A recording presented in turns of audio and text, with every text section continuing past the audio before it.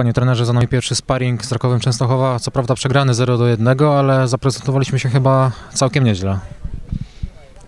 No na pewno popełniliśmy sporo błędów, szczególnie myślę, że od 60 minuty troszeczkę nam brakło jakości, trochę brakło nam jakiegoś takiego zdecydowania i mądrych, mądrych wyborów przede wszystkim i ta gra troszeczkę nam siadła.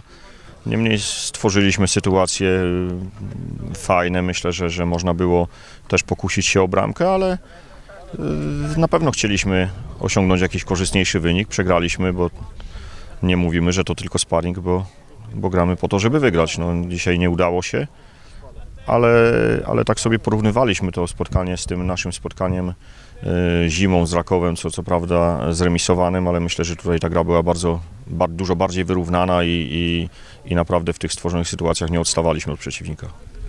Dzisiaj zagrało trzech testowanych zawodników. Maciej Spychała, Jacek Wuwer i Marcin Mączka. Kilka słów na temat ich występu.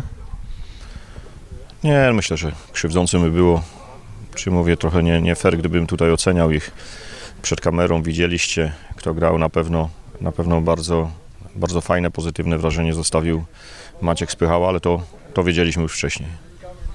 Jutro kończymy obóz y, w Kamieniu. Jak pan go podsumuje? Jest pan zadowolony z pracy, jaką wykonał zespół? My jesteśmy bardzo zadowoleni, bo trafiliśmy idealnie z pogodą. Ta pogoda, która była, pozwoliła nam wykonać właśnie to, co sobie zaplanowaliśmy. Mogliśmy pracować na naprawdę fajnych obciążeniach i, i myślę, że to też y, wśród niektórych zawodników dzisiaj było widać, tak? bo, bo gdzieś tej, tej dynamiki, niekiedy jakości podania brakowało, ale, ale na pewno to co, to, co zrobiliśmy, nie, już nam nie ucieknie. Adam, pierwszy mecz w nowym zespole. Przegraliśmy z Rakowem Częstochowa. Jak podsumujesz to spotkanie? E, Pierwszą połówkę zaliczyłem, e, potem e, była zmiana. No podsumuję tak, że jednak taki mecz na remis. Gdzieś tam na obozie obie drużyny pracowały, kończymy obóz takim właśnie sparingiem.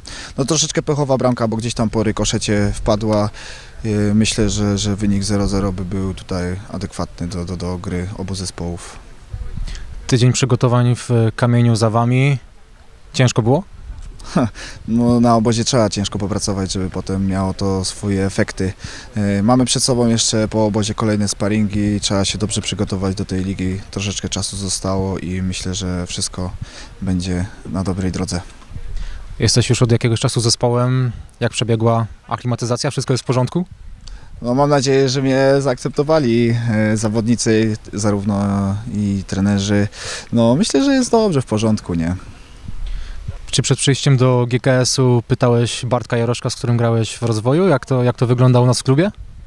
Tak, troszeczkę, troszeczkę popytałem, ale y, nie miał żadnych tutaj wątpliwości, że jest dobrze i, i spokojnie przechodziłem do tego klubu.